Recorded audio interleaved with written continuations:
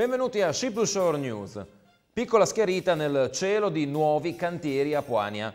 I cantieri navali di Marina di Carrara si aggiudicano una gara indetta da RFI per una nuova unità destinata allo stretto di Messina.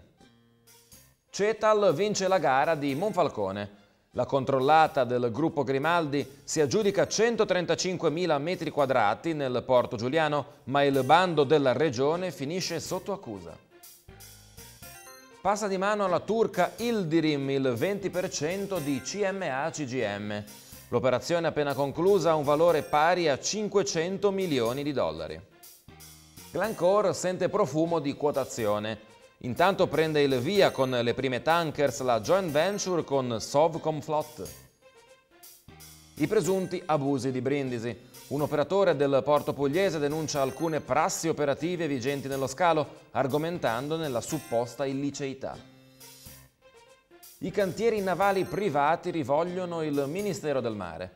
L'ultima assemblea di Ancanap ha fatto il punto sul delicato momento della navalmeccanica.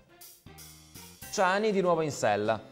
Con una pronuncia a tempo di record il TAR del Lazio sospende il decreto di Matteoli e rimette al suo posto il presidente dell'autorità portuale di Civitavecchia. Italiani protagonisti in Egitto. Grande partecipazione di aziende nostrane alla sesta edizione della fiera Trans Middle East ad Alessandria. Ambrogio Italia Repubblica Stradale. L'imprenditore pioniere del trasporto combinato giunge ad amare conclusioni sulla nostra politica dei trasporti nel settore ferroviario e spiega perché occorre fortemente la TAV Torino-Lione. Le crociere a Livorno finalmente si rendono utili.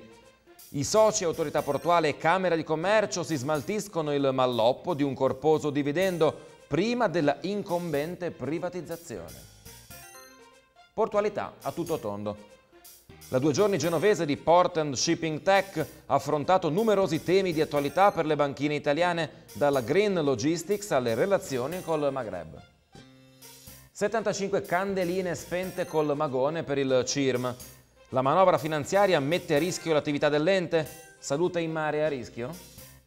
Prende in largo la nave dei record di Royal Caribbean. Crociera inaugurale per la Allure of the Seas che da dicembre porterà i turisti americani sulle rotte caraibiche. Un sottosegretario in cerca di autore. Giacchino continua il roadshow alla ricerca di risposte dagli operatori, ma poi l'ascolta e sa lui stesso darne di appropriate? Per ulteriori approfondimenti consultate la nostra rivista online al sito www.ship2shore.it. Ship to Shore News, usciamo dopo i quotidiani, ma arriviamo prima sulla notizia.